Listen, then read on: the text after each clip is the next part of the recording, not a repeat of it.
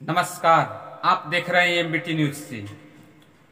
दोस्तों, राजनीतिक हलचल तेज है। इसके बीच अगर जे कि सुप्रीम कोर्ट जे कि कड़ी जे की संदेश जारी करता है, अगर किसी को जे कि समक्ष जे की बुला लेता है और उस पर जे कि विचार रखना स्टार्ट करता है तो उस व्यक्ति के दिल पर क्या गुजरता है, आप जरा कल्पना कीजिए।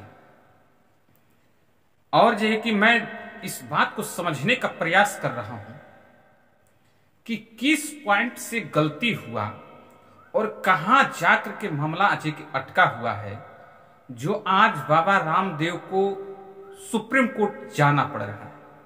जबकि बाबा रामदेव एक ऐसे व्यक्ति हैं जो सत्तर रुपए पेट्रोल नहीं चाहिए, पैंतीस रुपए पेट्रोल वाले को जो वोट दिलवाने के लिए वो जी तोड़ मेहनत करते हैं। और लगातार जे कि 400 का सिलेंडर नहीं 1200 का सिलेंडर दिलवाने वाले व्यक्ति का पुरजोर जे की सपोर्ट करते हैं, और वैसे व्यक्ति का सरकार भी है।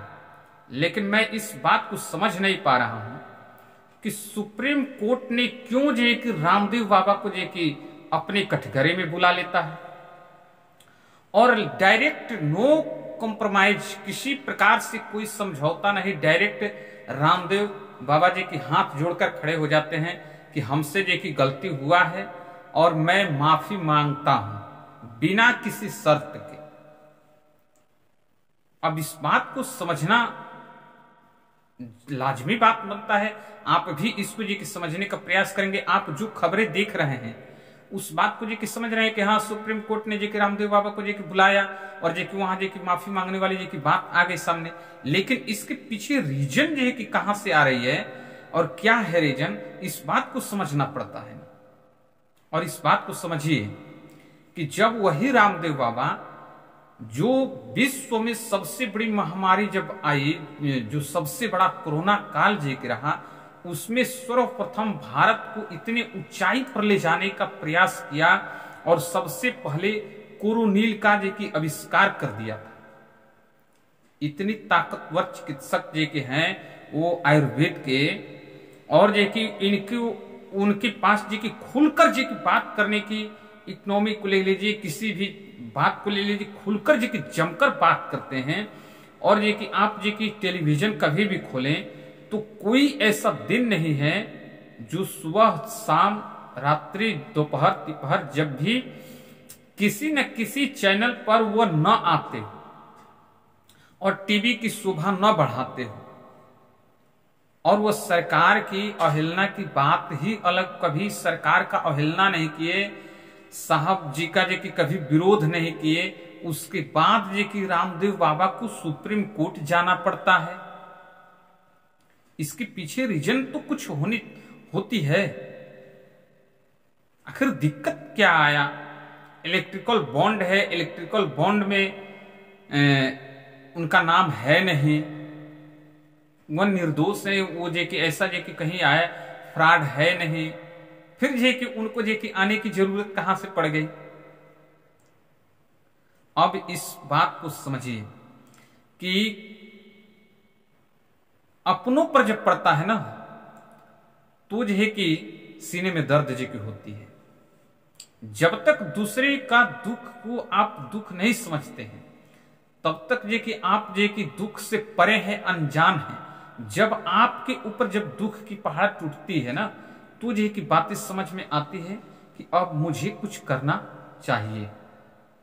और वही हुआ रामदेव बाबा के साथ। अब जाके एहसास हुआ है कि जिस की तारीफ़ मैं कर रहा था।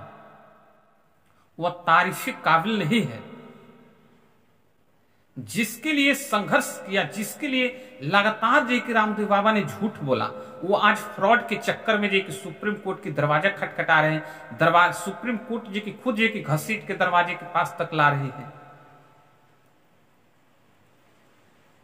क्या आप ये कि इस बात से अनजान है, या आप इस बात को जानते हैं अगर नहीं जानते हैं तो आप जो कि उसको जानने का प्रयास कीजिए ना।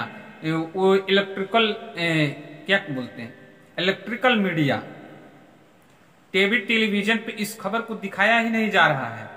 बाल कृष्ण और ये कि रामदेव बाबा जी की दोनों व्यक्ति को सुप्रीम कोर्ट ने फिर जे की तेरह तारीख को जे की बुलाया कि आपको तेरह तारीख को फिर जे की आकर के मुझे एक हल्फनामा दीजिए और जे कि आप जे की जब झूठ बोले हैं आप जब झूठ साफ़ साफ़ बोला है कि आप जब झूठ बोले हैं तो इसकी सजा मिलेगी। आप मुझे फिर जे की तेरह तारीख को आकर के आप हमें को बताइए कि आपने क्यों ऐसा जे की किया। और हल्फनामा दीजिए। यही है राजनीतिक माहौल। हो सकता है कि कहीं रामदेव बाबा ने साहब से बगावत कर दिया हो। या स्वयं जी की अब चुनाव में उतरने की तैयारी जी की बन गई हो? हमें तो ऐसा नहीं लगता है जी कि जो पक्ष में है, जो साथ में है, सबके साथ, सबके विकास में है, उसके ऊपर जी की किसी प्रकार की कार्रवाई जी की हो रही है। लेकिन हमें तो ऐसा अब एहसास जी की हो रहा है कि कहीं न कहीं रामदेव बाबा चुनाव लड़ाना चाहते हो जिसके बदौलत ये कि विपक्ष पे जिस प्रकार से ईडी, सीबीआई अन्य को प्रकार की जे की पड़ रही है, वैसे जे कि इनके ऊपर भी जे की पड़ गई या फिर जे कि रामदेव बाबा जानबूझकर अंग्रेज़ी दवाओं को अपने जे की बल बुत्ते जे की झूठा साबित करने का प्रचार और प्रसार जे किया है। आप लोग को मालूम होगा, साइंस बहुत बड़ा जे की चीज़ है। और साइंस ने उस तरक्की को कि हासिल किया है, जिस तरक्की की वजह से आप मुझे इस बात को सुन पा रहे हैं।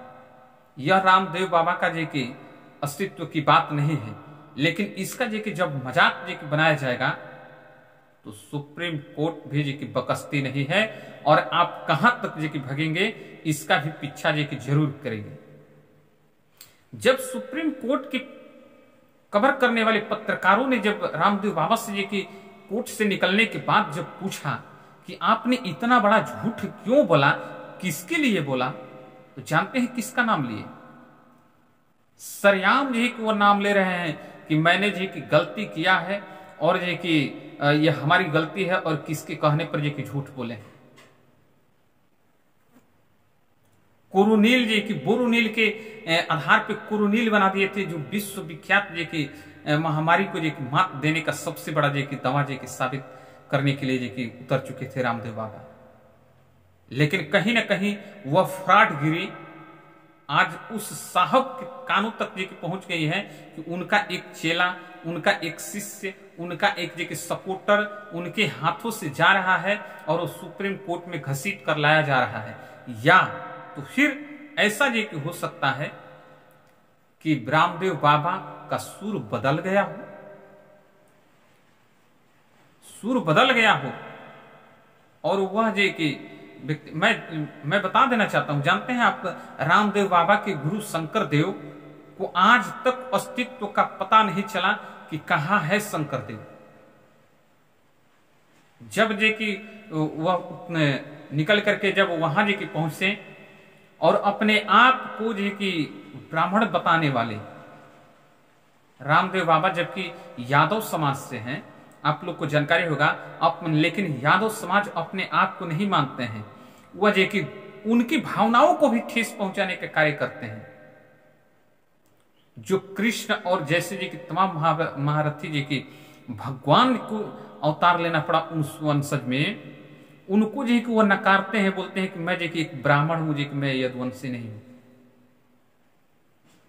तो किस हद तक कहाँ कहाँ जे कि झूठ हो जे कि बोलेगा आदमी और जिसका नतीजा जे कि रामदेव के सामने जे कि है यह चुनावी प्रक्रिया में ऐसा जे कि सुर छिड़ा है कि जिसका जे कि हिसाब अब अपने डर लगने लगा है अब अपना भी अपनों से डरता है और इस बात से वह जानबूझ करके अनजान बनने का नाटक करता है। अंग्रेज़ी दवाओं का विरोध करना और साइंस को गलत बता देना और जो कि भ्रमक प्रचार करना, अंग्रेज़ी दवाओं के बारे में गलत जो कि बातें करना, यह कहाँ तक जो कि शोभा देती है? ऐसे ऐसे जे कि मैं आयुर्वेद का जो कि विरोध नहीं करता, रामदेव बाबा का विरोध नहीं करता, लेकिन जो हकीकत जो सामने आई है, आज सुप्रीम कोर्ट ने जी की हकीकत सामने लाया है तो फिर उस पर जी की बात बनती है जी की कहना। पतंजलि ब्रांड, एक ब्रांड बना था, लेकिन आप उसको जो कि ऐसे घसीट करके लाए कि आप उसे फ्रॉड ब्रांड बना दिए और इसका असर आपके सामने जी की मिलेगा। आप हमारे चैनल से जुड़े रहें हमारे चैनल को सब्सक्राइब करें। धन्यवाद।